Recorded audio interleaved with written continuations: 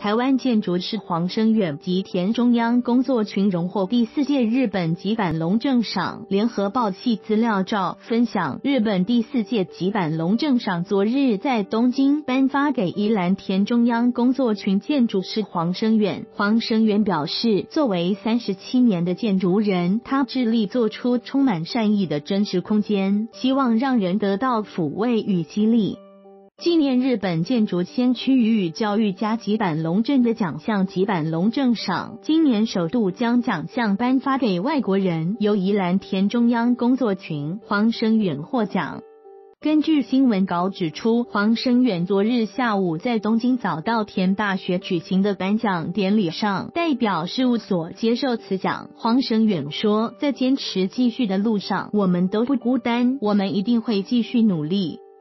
黄生元表示，他非常感谢吉坂龙正赏评选委员会让田中央团队获得这项荣誉，同时让他们有机会到东京与日本建筑界好友共聚一堂，并向敬仰已久、追求多元、开放、自由的吉坂哲学思想致敬。作为一名三十七年的建筑人，黄生远说，他一直努力实践做两件事：第一，要活出一个自主工作群，没有人能随便指挥，又能实时反省，同伴互补接力，又各有特色，在家或出门都能合唱的生命之歌，再也没有谁说了算。再者是不逃避建筑本业，做出充满善意、什么都有可能的真实空间，希望让进入。的人得到抚慰，受到激励，证明自由的可能。吉板龙正向来鼓励参与创作的伙伴，先依据主题各自发展单栋建筑设计，让每一个建物创意独特，最后再整合为全新的、无可预期的结果。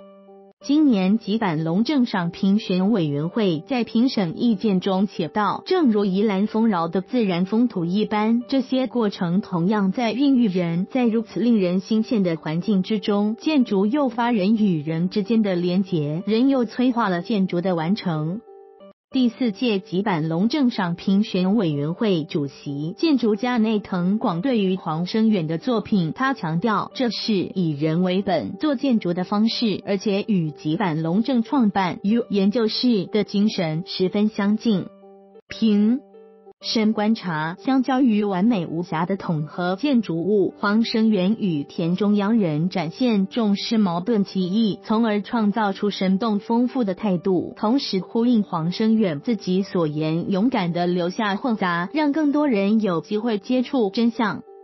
对于黄生元与田中央团队这类创造手法与建筑之道，评审表示，不仅在日本，甚至在近代社会中皆早已无存。因此，历经评选团亲自勘察与讨论后，最终一致同意黄生元与田中央工作群及他们至今为止所有的作品和活动，非常符合吉坂龙正赏之精神。